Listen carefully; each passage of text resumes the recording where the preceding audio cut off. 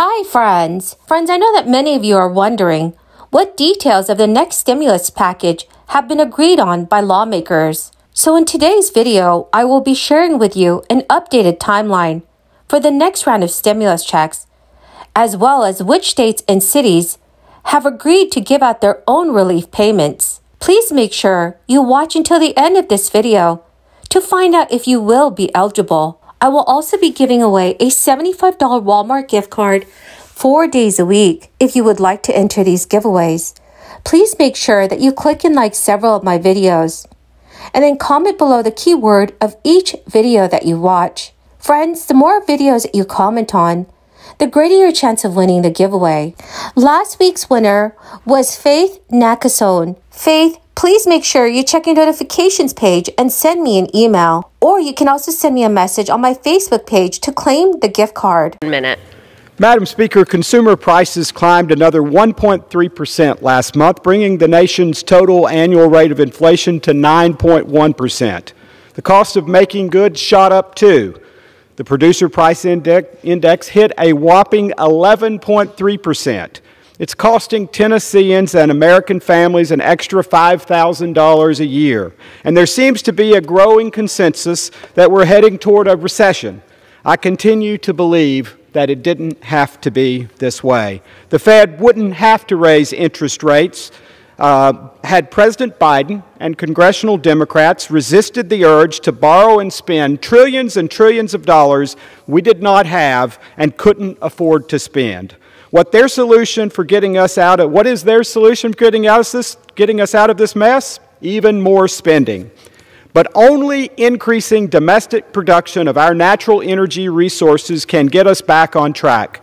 President Biden appears to prefer the destruction of our country's fossil fuel energy industry rather than using it to the bring the price time of has gasoline expired. and diesel back down. At the onset of the crisis, the American economy immediately fell into recession, with unemployment spiking to 14.8%, the highest since records began in 1948. In response, the U.S. government passed a series of stimulus packages that, among other things, kept 11 million Americans out of poverty. While the immediate effects of the crisis are now in the rearview mirror, another threat to the economy has reared its head in 2022, and that is inflation, which has spiked to its highest levels in 40 years. To help combat the stress this is putting on the finances of Americans, some are calling for additional stimulus. Although overall, the American economy has been very strong over the past year. There are signs of weaknesses that have some federal legislators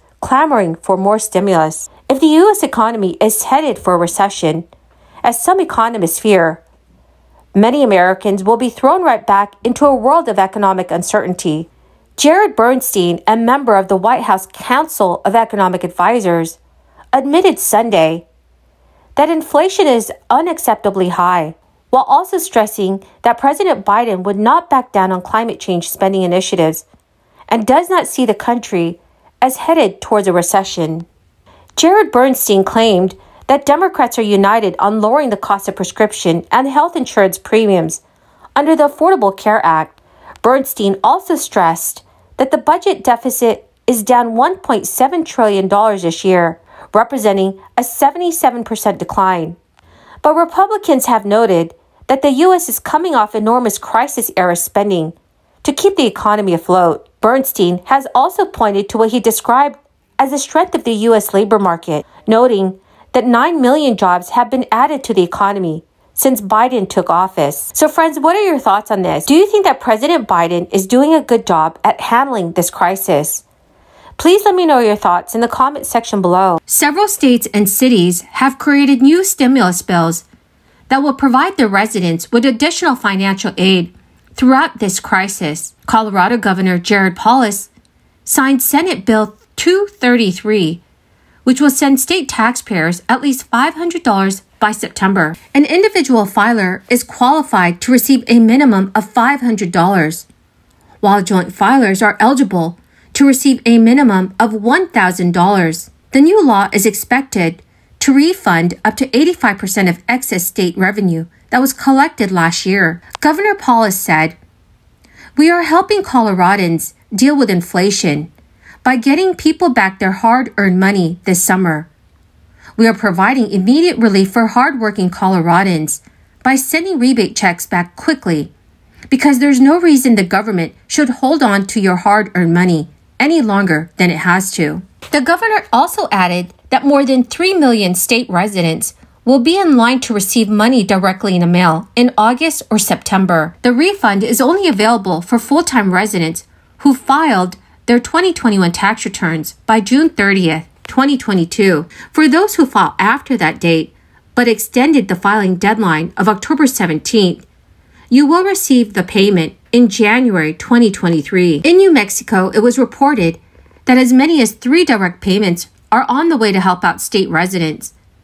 For the first round, taxpayers who filed individually are in line to receive $250, and those who filed jointly will receive $500. The state of New Mexico has started processing tax rebates last week, but this is just one round of economic relief payments. Some New Mexico residents will be able to claim three of these checks. Just last week, Michigan Governor Gretchen Whitmer sent a letter to leaders in the legislature proposing the Michigan Tax Rebate Right Now plan, which includes a one time direct payment of $500. Friends, the keyword for this video is Grand Rapids.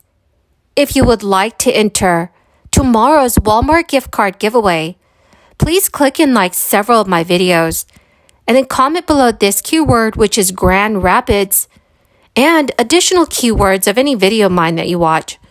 And do make sure that you're also subscribed to my channel. Remember, friends, that the more keyword, remember, friends, that the more videos that you comment on, the greater your chance of winning the giveaway. Governor Whitmer said in an official statement Let's take advantage of our additional revenue to put money in people's pockets and deliver real relief right now. Michiganders are counting on us to work together to provide real relief right now so they can pay the bills and put food on the table. Well, my amazing and fabulous friends, that is the end of my daily stimulus update video. Thank you once again for joining me here this Sunday. I truly appreciate all of you who are watching or listening to my videos. Thank you so much, friends, and have a wonderful and blessed Sunday.